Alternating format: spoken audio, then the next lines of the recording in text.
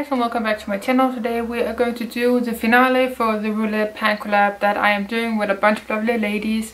And this collab is started by Alexandra and Rebecca Morgan and they are amazing ladies if you haven't checked them out already. But if you know about this project, I'm pretty sure you follow them already. They're really really awesome and they make amazing videos and I decided to join into their collab this year.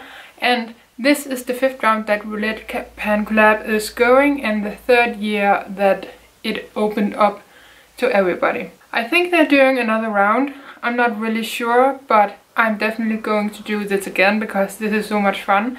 Even though this project was not my intention where I should finish up stuff. Does that make sense?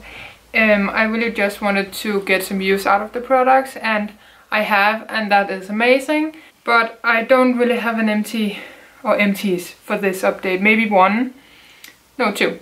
And they're not empty because I just hit my goal, but that is progress for next time I want to put them in a project. And that is exciting, for me at least. I hope that for you too. The first product that I hit my goal on is this lipstick from Estee Lauder and yes, I'm so excited that I hit my 20 uses goal on it. It is getting tiny, kind of. I don't know how much I have used because I only tally how many times I used it and I count them as days, not the applying amount. If I wear it one day, I can reapply one, two, three, four times a day. So that is really how I tally it.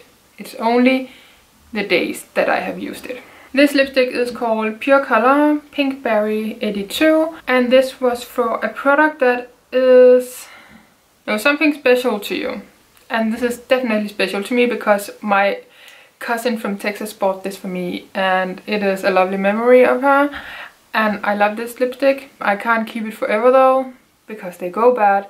I have loved using this lipstick over the past few months. You have no idea how much I love this lipstick. So I'm going to be sad when it's gone. Maybe I'm going to keep the packaging, I don't know, because it's really, really beautiful. This is in my collection and it's not cruelty free, so I will have it done at some point. So, bittersweet, you know, bittersweet. the next item I hit my goal on is this foundation because I knew last time there were only one month left for this project. I knew I couldn't finish it. This was for a product you are currently loving. I love this foundation. I am wearing it right now mixed in with a BB cream. This is so amazing. This is medium coverage I would say. Maybe light medium coverage and it is matching me so nicely right now. I really really like this because it is satin finish, it's not dewy or extremely matte. It's just beautiful on the skin and it lasts a long time on me. And foundation break up on me so fast. This doesn't.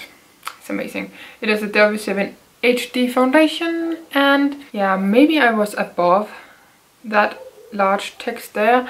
I really can't remember to be quite honest, but I knew I wanted to be where the word foundation is. That is where I am right now. You can see the window goes down to here, so that is what I am counting. I should have marked it. I just didn't. I don't care. I am wearing this lip gloss today actually, but this is the first or second time I am using this lip gloss this month. I know it's awful. I have only used it 10 times the last three months. It's four months even. How long have you been doing this project? Four months I think.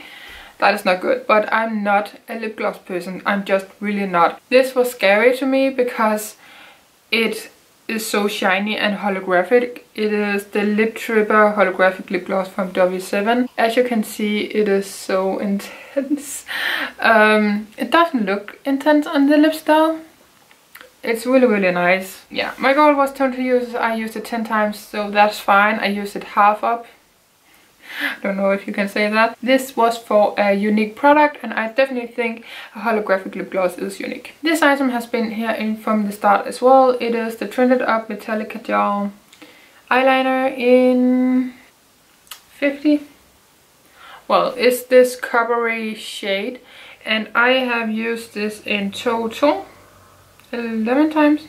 No, more than that. I've used it a few times since then. 13 times maybe?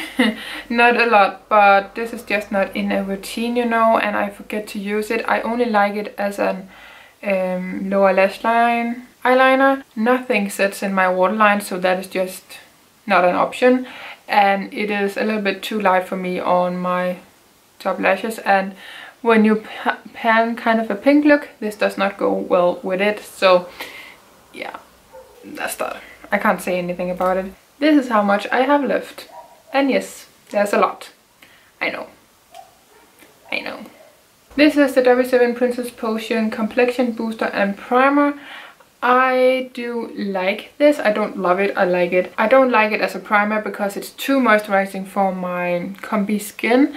Um, it makes my matte foundation oily and that says a lot because they never do that with any primer I use. Um, it's only my natural oils that comes through but this was so greasy um, so I use it as a nighttime serum and I really like it. Now I only have this serum in my stash so this will get used now I have used it a few times again I've tried to use my serum up maybe that was a bad choice for me because I could have used this but I'm working on it now. That is a common thing in this project pan if you can't tell. I tried. I tried my very best. The last item I have is my MDK Vice 4 palette and I had an eyeshadow in here. It was called Fastball and it is the pink shadow that I have on my eyelids today and it is this shadow right there so as you can see there's some wear right there and that is where I have been putting my brush. I also used the trick with the setting spray. Um, it didn't work with this shadow because it's not really um, shimmery or anything. It's more satin and yeah basically you can't turn a satin finish shadow into a metallic. So that's just not possible. If it is, please let me know, but yeah, there's no dip or anything and I have used it three times since I put it in last time. Not good because I was sure that I could have hit my 10 to 15 uses goal by this update. I didn't bring this palette with me to London. I didn't uh, wear makeup for a few days. This week I have only used makeup today and it is Wednesday because I hurt my back uh, Monday because I fell down the stairs. Stupid. So I hurt my back and I'm feeling okay today so I thought I at least would film when I did have makeup on because I went to a meeting. Yeah, this is, that's, that's life, you know. So maybe that's also why maybe I can use that an, as an excuse for the other items that I didn't hit goal. I have no idea. Um, but I really really like this project overall. I love the idea and I really like the fact that I just got some use out of uh, some items that wouldn't have been used if it wasn't for this project. I did declutter three items from my collection from this project, which in my head is really really good because then I don't have to force myself to go through them. So I tried them, I used them for a while and then I just decluttered them and hopefully they will get a new home. If they are too old I will just toss them because no one should use old makeup if I have used it before them, you know. That was everything for this video. I hope you guys enjoyed. If you did, please go to like, subscribe down below because I do a lot of project planning videos and series. I have a few in the making right now and they are starting in a month and two months. So I'm really, really excited about that. And if you like palette bingos and empties, please stick around because I do them as well on my channel. It would mean the world to me if you want to stick around. And until my next video, please take care.